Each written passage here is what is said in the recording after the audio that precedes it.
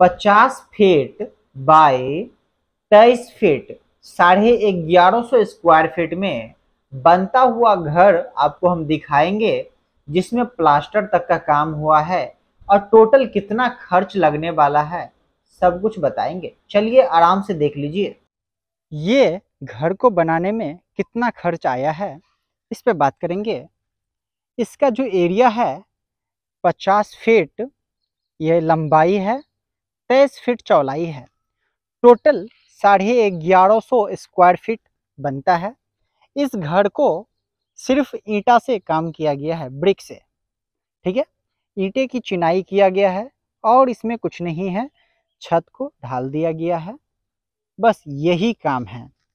इतना काम करने का कितना खर्च पड़ा है, इसको देख लीजिए। अंदर में ही बता दे रहे हैं, अभी तक का टोटल खर्च बता दे रहे हैं। जैसे साइड में सीलन रोकने के लिए प्लास्टर कर दिया गया है, ठीक है? प्लास्टर के साथ साथ वहाँ पे सीमेंट का पेच भी लगा दिया गया है। इससे प्लास्टर जो है मज़बूत भी होता है और साथ ही साथ सीलन नहीं आते हैं, क्योंकि देखिए पानी अटकता है साइड में, इसलिए इससे सीलन आएगा ज़्यादा, जिसको रोकने के लिए ये काम किया गया है। बाकी आगे जाइएगा तो 10 इंच का ये दीवार आपको मिल जाएगा, उसी के साथ में ये ब्रिक का एक पिलर मिल जाएगा 20 इंच का।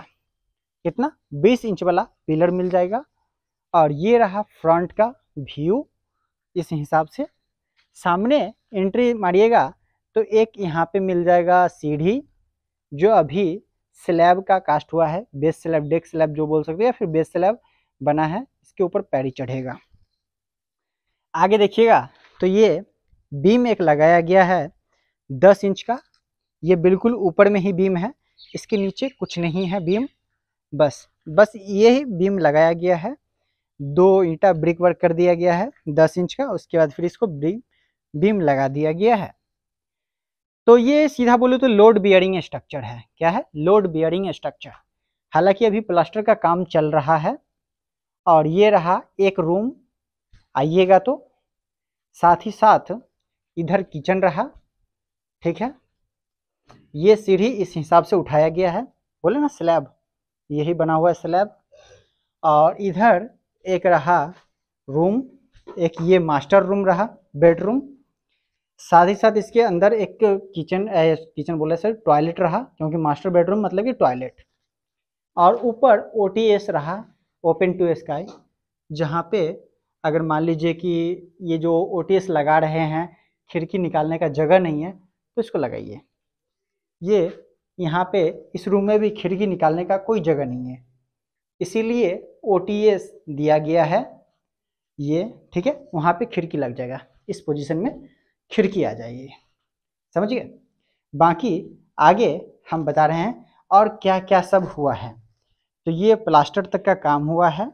सीढ़ी को इस ढंग से उठाया गया है। जो कि इसका मैं थिकनेस की बात करूँ तो साढ़े चार इंच है। क्या अंकल जी? साढ़े चार इंच है ना? कितना है? साढ़े चार से पाँच। साढ़े तीन, ओके। साढ़े तीन इंच है। हालाँकि इतना डालना भी नहीं चाहिए। मेज़रमेंट टेप अभी मेरे पास नहीं है। तो ये पाँच इंच होना चाहिए। अंकल जी? तो ये आपको साढ़े तीन से लेके और पाँच के अंदर में रखिए। पाँच से ज़्यादा बढ़ना नहीं चाहिए, क्या? इसके बाद यहाँ पे जो स्टेप दे रहे हैं, ये स्टेप आपको मेरे ख्याल से ईंटा का ना देके सीधा कंक्रीट वाला बनाइए। तो ज़्यादा मज़बूत होगा। उसमें लोड कम होता है, ईंटा का लोड ज़्यादा हो जाता है। क्या अंकल जी? सही बोले ना? हाँ तो इस वाला से थोड़ा सा लगता है लोगों की सस्ता पड़ता है। लेकिन सस्ता आपको बताऊँ तो कंक्रीट वाला ही होता है और मज़बूत भी वही होता है ज़्यादा। तो आप उसका काम करवा लीजिएगा और ये चीज़ें इस हिसाब से अभी तक काम किया गया है। प्लम्बर का पाइपलाइन प्लम्बिंग कर दिया गया है पूरा। यहाँ पे और बिजली का भी पाइपलाइन डाल दिया गया है और इसमें कोई काम नहीं हुआ है। इस काम को अभी तक करने का जो खर्च पड़ा है, वो साढ़े नौ लाख के नज़दीक अभी तक आ चुका है खर्च। ठीक है तो ये रहा यहाँ का जानकारी। बाकी जानकारी के लिए आप हमसे कांटेक्ट कर सकते हैं। अगर इसका नक्शा चाहिए, आप हमसे पूछिए, हम आपको दे देंगे व्हाट्सएप पे। ठीक है?